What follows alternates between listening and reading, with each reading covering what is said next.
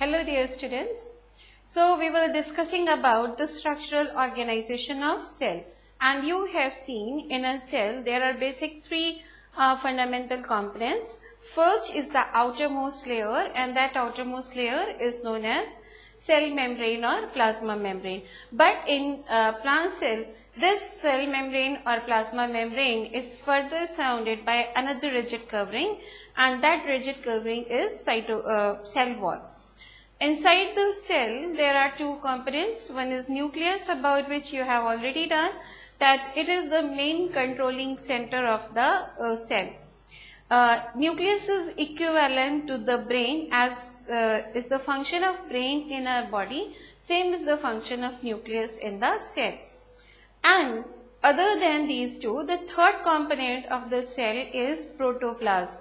Protoplasm which is observed as jelly-like viscous material inside the cell. Remember when we have seen uh, the slide of uh, onion peel cells, in that slide you have seen the hexagonal shaped cells which are having uh, the thick boundaries and when we looked uh, at the stain, you observe that the outermost uh, surrounding was or you can say the outermost layer was having a dark stain. Inside that there was a dark colored dot and this dark colored dot was representing the nucleus. And remaining part of the cell which has taken very less stain or you can say it was faintly colored and this faintly colored uh, part of the cell here is that is what it is nothing but it is the new protoplasm. So what is protoplasm? Now we can say the jelly-like viscous material inside the cell membrane. Anything inside the cell membrane, living component is known as protoplasm. And this uh, protoplasm is basically the combination of two. It is the combination of cytoplasm and nucleus or you can say nucleoplasm. So the nucleoplasm you have seen is the jelly-like material present inside the nucleus. So anything between the nuclear membrane and cell membrane that is known as cytoplasm.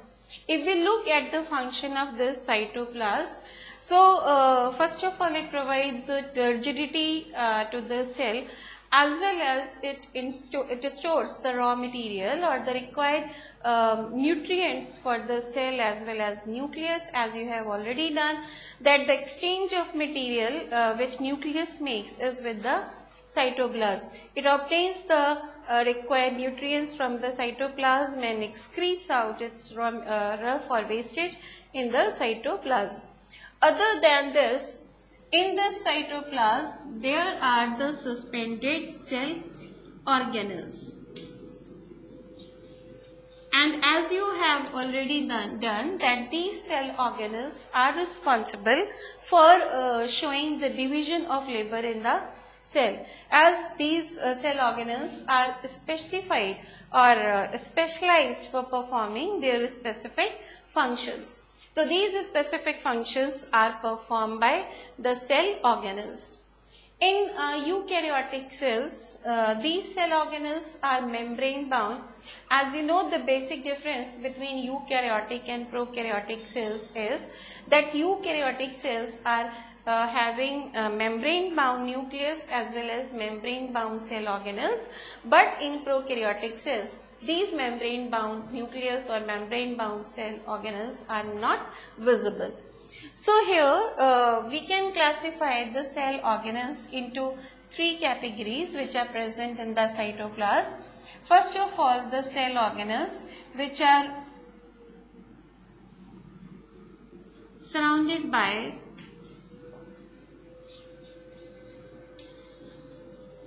double layered membrane.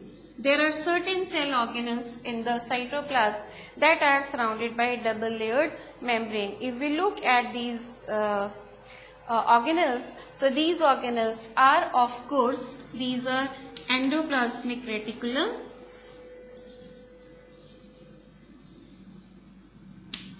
which acts as you can say structural framework for the uh, structure of cell. Other than that, there is mitochondria. Mitochondria, you know, is the uh, powerhouse of the cell which is responsible for uh, uh, storage and production of electric uh, energy.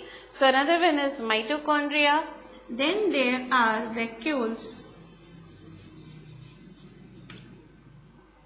and then uh, you can have other than my endoplasmic reticulum, mitochondria, vacuoles, another cell organelles which are having a double layered membrane are the Golgi apparatus,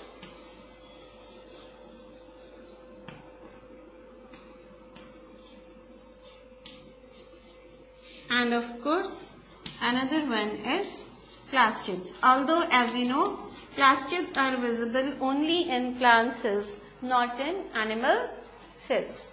Then another type of cell organelles are those which are surrounded by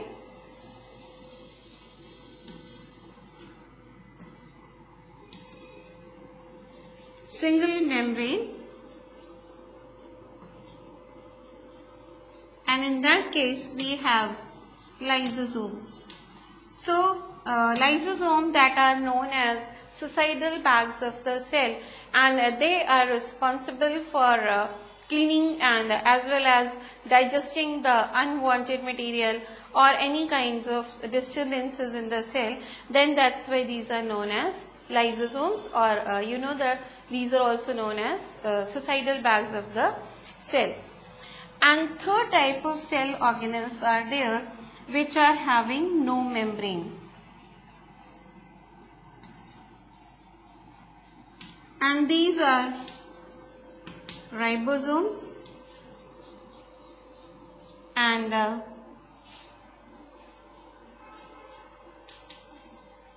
centrosomes and centrioles right so uh, you have seen that in a cell uh, there is a jelly like viscous material and this jelly like viscous material is known as protoplasm. And when nucleoplasm is removed from protoplasm, then the material left between, between the cell membrane and nuclear membrane, that is what? That is cytoplasm. Cytoplasm is also a jelly-like uh, viscous fluid and uh, it stores all the, all the um, important materials for the cell as well as provides the medium and uh, the cell organelles also remain suspended in cytoplasm. Depending upon the number of surrounding membranes, these uh, organelles are classified into three categories. First one is surrounded by double layered membranes and double layered membranes surrounded are endoplasmic reticulum, mitochondria, vacuoles, Golgi apparatus and plastids.